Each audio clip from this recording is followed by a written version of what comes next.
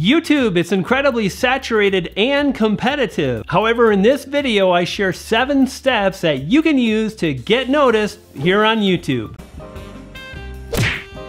Brian G. Johnson. Hey, it's me, Brian G. Welcome back to the channel. And if it's your first time, welcome. And if you want to grow a channel, well, stake your claim and amplify your message by subscribing. Click the bell notification and you won't miss a thing. Getting noticed on YouTube begins with your thumbnails and your channel art. Before watching any of your videos, a viewer sees and clicks your thumbnail. And these seven steps will allow you to get noticed, drive more clicks, and increase your views. Let's jump in. Step number one, pleasing color palettes or combinations. Fact of the matter is lots of color combinations don't work.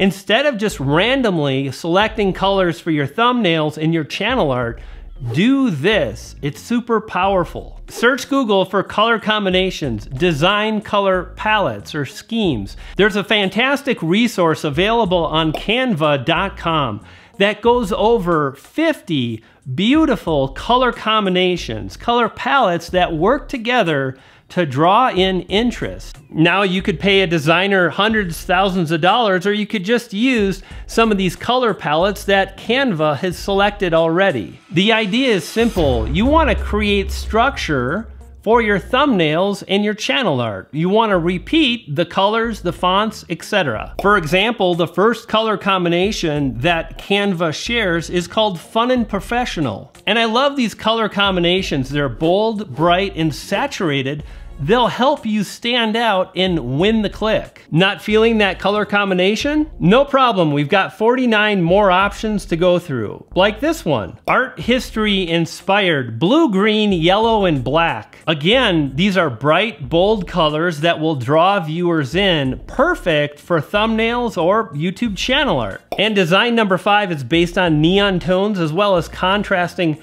colors. I talk about this so often because it works. It helps to drive clicks and views. I've got a link to that article on Canva in the description below. Check it out. But now let's jump on to Step number two, select and save the color palette that resonates with your channel, what you wanna create. Don't just go through and admire these color combinations. Instead, select one, save the information so you can repeat exactly the colors, the fonts. We'll talk more about the fonts in a moment.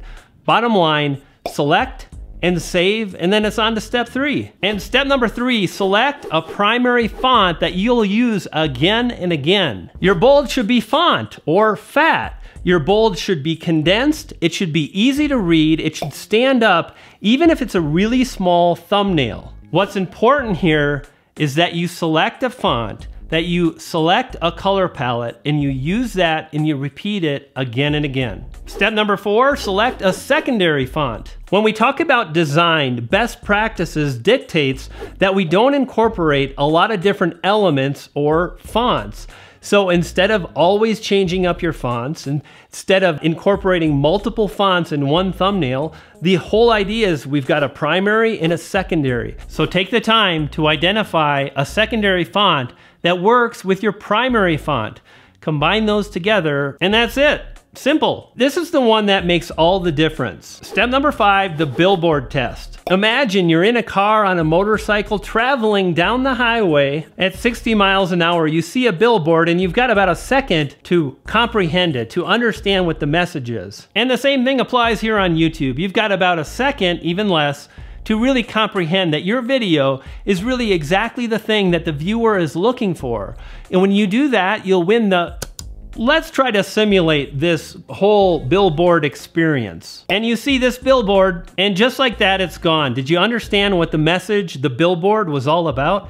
Did you get that it was an advert for McDonald's and chicken nuggets? I'm guessing you did, but that experiment is a little unfair because you already know you're accustomed to McDonald's. We want to be able to create a thumbnail where the viewer has no understanding of our channel, of what we offer, and yet understands just like that. So let's try this same test again with a company that you don't already know. Oops, Divorce Attorneys.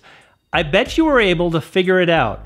Why? Because the ad The design of the ad, the billboard, is very clear. It's very easy to understand, and yet it's clever and it's uh, a little it's I don't know if it's quirky, but definitely clever. Oh, intriguing. That's the word I was thinking of. And this is how you want to design your thumbnails moving forward. You want people to be able to understand clearly at a glance exactly what your thumbnail, your video is about, and doing so will win the click. Awesome. Now, here's another example of a billboard that really has great design that we can apply to a thumbnail. Notice that the sandwich is in one of the thirds. So in design, we often talk about uh, thirds. One third for a face or an object, in this case, the sandwich, and two thirds for the text. I wanna mention, notice how much space there is around the text. The text does not go to the bleeding edge of the thumbnail or billboard, and that makes it easier for the brain to comprehend and understand. Design in the same manner and you'll win. And step number six, just don't deviate. Make sure you use the same color palette again and again in your thumbnails. Make sure you use the same font, primary font, secondary font, again in your thumbnails. If you really want to go crazy, you can incorporate things like a stroke, which is the outline around the lettering, and make sure that the stroke is again always the same size. When you do that, when your thumbnails are next to each other, they'll stand out and they'll be parts of a puzzle that fit together as one. Step number seven, apply these elements to your channel art. It's really pretty easy. Take the same color palette, the same fonts, etc. Create simple and easy to understand channel art and that will pull everything together and you'll win.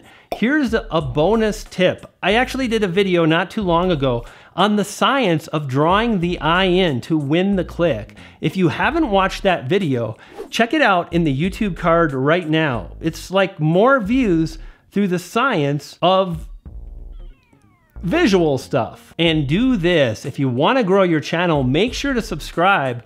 Click the yellow B to the G icon below. You'll subscribe. I'll continue to share the strategies, the tactics that have allowed me to grow, and you'll feed a poodle. I got two and they're hungry. I'll see you next time. You dig?